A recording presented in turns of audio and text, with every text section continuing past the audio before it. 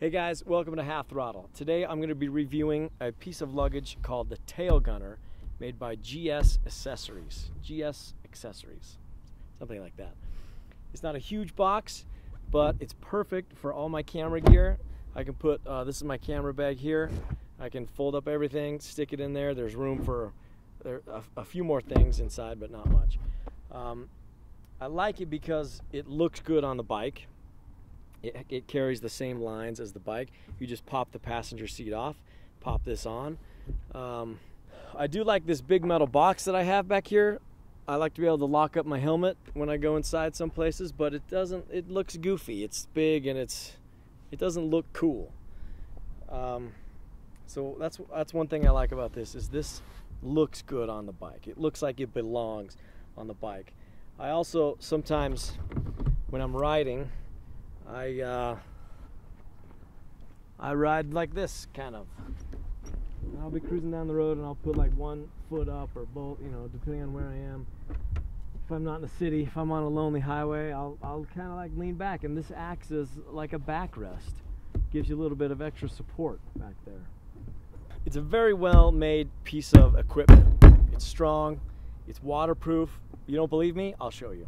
All right, since I don't live in Panama anymore and can't beckon a thundering rain, rainstorm with a snap of my fingers, I've come to this car wash to test out whether or not the TailGunner is waterproof. Let's try it out. I've got some expensive uh, audio equipment in there, I was too lazy to set up for this shot, so I hope it sounds okay, but we're gonna see uh, how it holds up under some high pressure spray.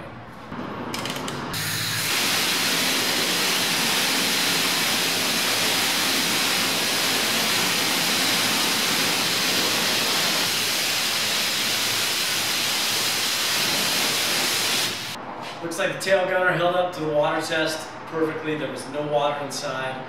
It has a rubber gasket that goes all the way around the inside of uh, the lid. Uh, check close, not one drop of water got into where my camera bag or towel was. So, pass with flying colors. And you know, it may be small, but I look at this and I think about putting my tank bag here popping the TailGunner on the back of the bike, loading them both up, and going somewhere for a weekend, and and not needing all of this extra weight and wind resistance that that, that these guys bring. Um, sometimes it's nice to travel light. A lot of people they overpack. You can only wear one pair of pants at a time, guys. Just sometimes it's just nice to take what's only necessary. So I like it. Check out uh, gsaccessories.com if you want to learn more about it.